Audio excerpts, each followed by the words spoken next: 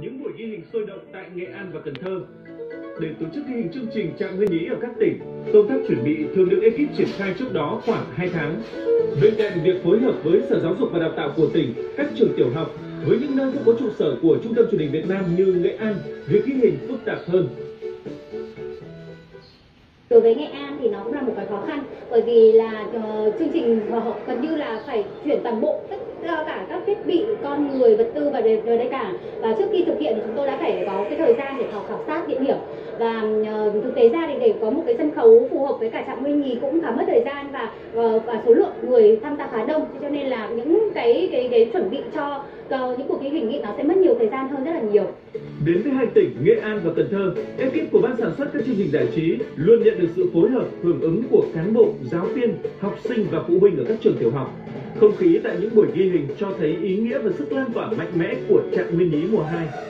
không chỉ riêng ừ, thầy trò trường tiểu học Ngô Quyền mà tất cả các trường ở trên địa bàn thành phố khi hay được có cái chương trình trạng nguyên lý về ghi hình thì tất cả thầy trò đều rất là hào hứng. Bởi vì từ trước tới giờ khi mình xem chương trình chỉ xem được trên tivi thôi thì các con nó chỉ chưa có được trải nghiệm thực tế. Thì đây cũng là một dịp để các con được à, trải nghiệm à, chính mình tham gia vào cái cuộc thi này. Chẳng những Nhí năm mùa thứ hai thì khi mà hỏi chương trình thì mọi người đều đã biết và khi mà triển khai đến các trường thì các trường hầu như các bạn học sinh cũng đã có thời gian để xem và ờ, những cái câu hỏi hay là cái cách chơi ấy, thì các bạn ấy đều nắm rất là tốt và đấy cũng là một cái điều thuận lợi để cho chúng tôi có thể là thêm những cái tư duy mới cho cái việc sáng tạo. Xin mời các bạn sĩ tử vào trường. Nét hồn nhiên, vui tươi, khả năng và cá tính riêng của các em nhỏ tại Nghệ An và Cần Thơ mang đến cho các trạm nhiều cảm xúc khi ghi hình tại các địa phương này. Đúng vậy. Tập nào và quay tại Cần Thơ. Với các bạn học sinh của trường à, tại thành phố này thì con đều cảm giác là các bạn rất là dễ thương, rất là ngọt ngào, rất là chất phác. Và đôi khi các bạn quan sát mình trong cái quá trình ghi hình một cách rất là chăm chú đến cái mức mà mình không phát hiện được. Đến khi mà những cái giờ giữa giờ mà nghỉ ngơi thì các bạn ra các bạn hỏi là ơ thế chẳng có mệt không? Chẳng có muốn uống nước không? Và các bạn làm thân đến mình khiến cho quân cảm thấy vô cùng là xúc động. Mỗi cái vùng đất mà Luna đến ấy, là Luna luôn để rất nhiều về con người. À, đặc biệt là các bạn nhỏ các bạn giống như là những cái tờ giấy trắng nó mang đậm một cái nét ở vùng ờ, đất đó. Đặc biệt là ở các bạn trường ờ, Ngô Quyền này thì à, những cái gì mà mình quan sát được là các bạn cực kỳ thông minh cực kỳ nhạy cảm tự tin và các bạn có được cái bản lĩnh rất là lớn. Tham gia chương trình, các em nhỏ trải qua các phần thi hương, thi hội, thi đỉnh và các phần thi phụ như võ trạng nguyên, hoa trạng nguyên. Ở mùa 2, nhiều câu hỏi đưa ra bằng hình ảnh, hoạt cảnh sinh động, tạo sự lôi cuốn và hứng thú hơn cho các em nhỏ.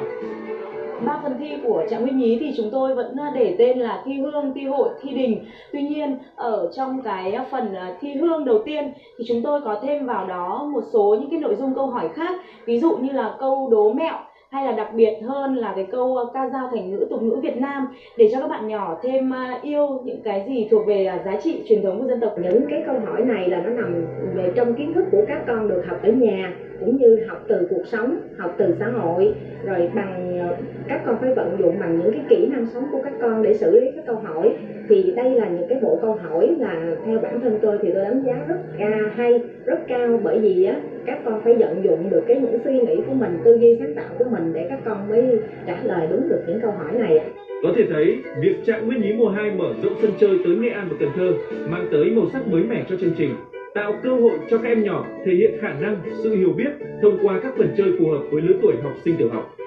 đây là một cái sân chơi rất là bổ ích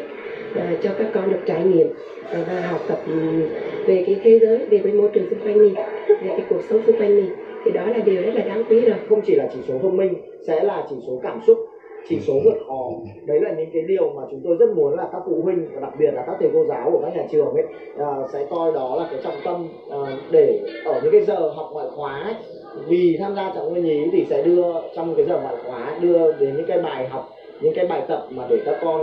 uh, hướng các con đến việc phát triển những cái chỉ số Trạng Nguyên Nhí phát sóng lúc 13 giờ thứ bảy hàng tuần trên VTV3. Mời quý vị chú ý đón xem.